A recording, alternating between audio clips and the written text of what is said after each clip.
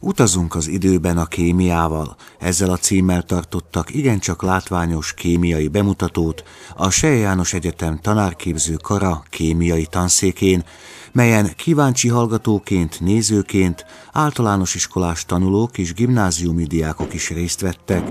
A Tudományok Hete című rendezvény előadója dr. Róka András, az Ötvös Lórán Tudományegyetem Kémiai Intézetének egyetemi docense volt.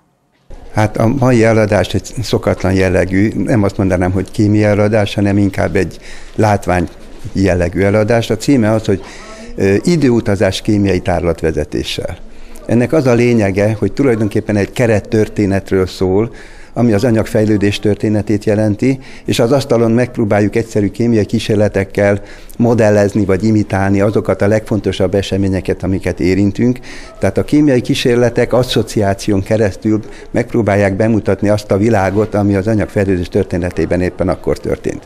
Hogy ez fényeffektussal, hangeffektussal, vagy konkrétan egy parányi vulkán fog működni az asztalon, ez minden esetben más-más jelenség, de mégis az asszociáció az adott történeti pillanatot próbálja fölidézni. Ezek között a jelenségek között mondjuk azt lehet mondani, hogy volt ősrobbanás. Világos, hogy itt valami hanghatást fogunk kelteni. Aztán volt szupernova robbanás, itt valami flash jellegű jelenség jön, ami tulajdonképpen magnéziumpor hirtelen égése lesz. Aztán, amint mondtam, van egy vulkánkísérlet, és gyakorlatilag végigjárjuk a vulkanizmus lehetőségeit, mert vulkáni tufa is fog képződni cukorból, kénsavba, vagy gejtét is fogunk tudni működtetni tömény hidrogénperoxid bontásával. Aztán jönnek az egyre alacsonyabb hőmérsékletű vizes közegű reakciók, széndiokszid és víz reakciója, és aztán a leges legvégére talán eljutunk annak a magyarázatához, amihez már kísérletet sajnos nem tudok hozni, hogy hogy lehet az, hogy az élő rendszerek fiziológiás hőmérsékleten képesek működni, pedig az az korábban látott reakciók mind magas hőmérsékletű reakciók. Tehát mi az a csoda, ami az élővilágotban megjelenik, hogy alacsony hőmérsékleten is le tudnak játszódni ugyanazok a típusú kémiai reakciók, mint amiket magas hőmérsékleten láttunk. Vajon miért fontos, hogy látványosan, érdekfeszítően mutassák be a diákoknak a kémia világát? Úgy gondolom, hogy a kérdés nagyon fontos, hiszen azt, hogy látványos legyen az oktatás, az azt akarja mondani, hogy versenyre kell kelnünk a médiával. Szóval a gyerekek a számítógépes világban olyan jelenségekkel, olyan virtuális világgal találkoznak, ami érdekli őket, ami szórakoztatja őket, ami foglalkoztatja őket. Ez pedig azt jelenti, hogy ezzel a világgal kell valamilyen módon versenybe kelni. Most ez a versenyzés elég nehéz, hiszen köztudott, hogy a, a kémia igen sok előkészítést igényel a kémia kísérletek esetében.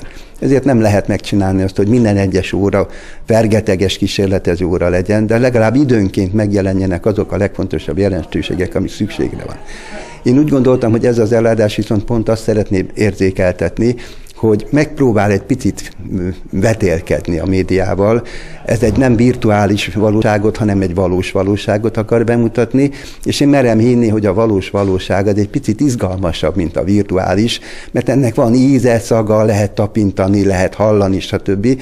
Lehet érzékelni ezeket, és mégis más, mint egy képernyőn történő virtuális világ.